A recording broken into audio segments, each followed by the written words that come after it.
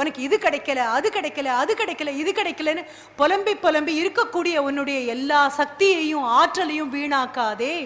எல்லாம் கிடைக்காம போகும் பொழுதுதான் உன்னுடைய மன உறுதி அதிகமாகும். ஒரு விவசாயி போய் ஆண்டவங்கிட்ட சொன்னாராம் கேட்ட நேரத்தில் வெயில் அடிக்க மாட்டேங்கிற கேட்ட நேரத்தில் காத்தடிக்க மாட்டேங்கிற கேட்ட நேரத்தில் மழை பெய்ய மாட்டேங்கிற உனக்கு இயற்கையை பற்றி எதுவுமே தெரியலையே உன்னை நம்பி எப்படி விவசாயியா ஆண்டவனே உன்னை நம்பி எப்படி விவசாயி பிழைப்பாங்க?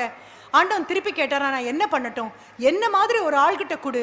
நான் காமிக்கிறேன் விவசாயினா என்ன பண்ணணும்னு காமிக்கிறேன். ஆண்டவன் சொன்னாராம் ஊர்ல இருக்கக்கூடிய அத்தனை நிலத்தையும் உங்ககிட்ட கொடுக்க முடியாது.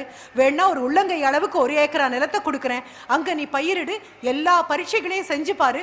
சரியா வந்ததுன்னா என்னுடைய வேளாண்மை துறைக்கு நீதான் அமைச்சர் அப்படின்னு ஆண்டவன் சொல்லியாச்சு. ரொம்ப சந்தோஷமா இறங்கி வந்தாராம் விவசாயி. கை நிறைய நல்ல விதைகளா எடுத்தாரு. மண்ணை உழுதாரு பண்படுத்தினாரு உரம் போட்டாரு. வா அப்படின்னு சொன்ன அடுத்த நிமிஷம் தேவையான அளவு வெயில் வந்தது. வான்னு சொன்னா தேவையான அளவு காத்து வந்தது. பெய் அப்படின்னா தேவையான அளவு மழை பெஞ்சுது. பார்த்து பார்த்து எண்ணி எண்ணி கணக்கு பார்த்து கணக்கு பார்த்து செடியை வளர்க்க ஆரம்பிச்சாரு. அவருடைய காட்டுல மட்டும் அவ்வளோ அழகா செடிகள் வளர்ந்துருக்கு அவ்வளோ அழகா பயிர் வளர்ந்துருக்கு. பக்கத்துல இருக்கக்கூடிய வயல்கள் எல்லாம் வாடி இருக்கு சோர்ந்துருக்கு கருகி போயிருக்கு. ஆனா இவருக்கு மட்டும் ஆண்டவன் கொடுத்துருக்கான். கேட்ட உடனே கேட்ட மாதிரி பஞ்சபூதங்களும் கூட வந்து நிற்கும்னு இனி ஆறு மாதம் ஆச்சு. இனி அறுவடை பண்ண போறோம். அறுவடைக்காக எல்லாரையும் கூப்பிட்டாச்சு. எல்லாரும் வரப்போறாங்க. நாளைக்கு கதிர் கொய்து கொண்டு போய் களத்துல சேர்க்க வேண்டியதுதான். அப்போ சந்தோஷமான விவசாயி ஆண்டவனை வீழ்த்திட்டோம்ப்பா அப்படின்னு நினைச்சிட்டு அந்த விவசாயி வந்து ஒரு கதிரை கிள்ளி கையில வச்சு தேய்ச்சு அப்படின்னு ஊதி பார்த்தாரு. பால் கோத்திருக்கக்கூடிய மணியாக இருக்கணும். அப்படி பச்சை பசேல்னு இருக்கக்கூடிய வயல் பக்கத்து வயல் மாதிரி காஞ்சும் கருகியும் வாடியும் இல்லை.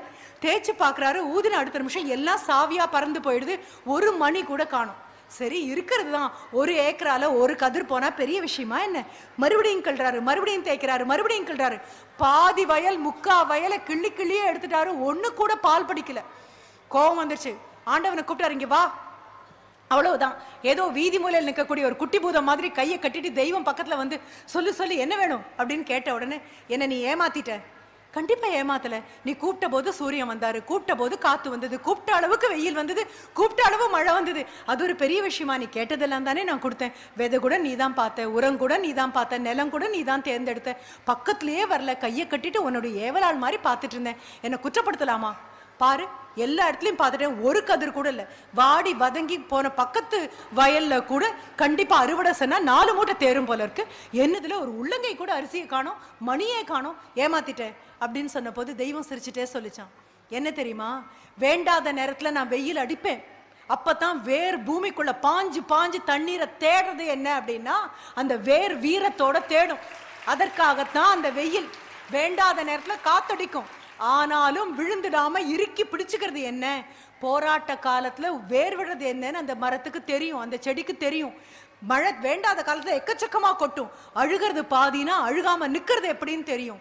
போராட்டங்களுக்கு நடுவுல வளர்ற விதைகள் மட்டும்தான் உரமான விதைகளாக இருக்குமே தவிர சொகுசான வாழ்க்கையை கொடுத்து கொடுத்து வசதியான வாழ்க்கையை கொடுத்து கொடுத்து ஒரு வயலை வளர்த்து கொண்டு வந்தேன் அப்படின்னா ஒரு மணி கூட பிடிக்காது.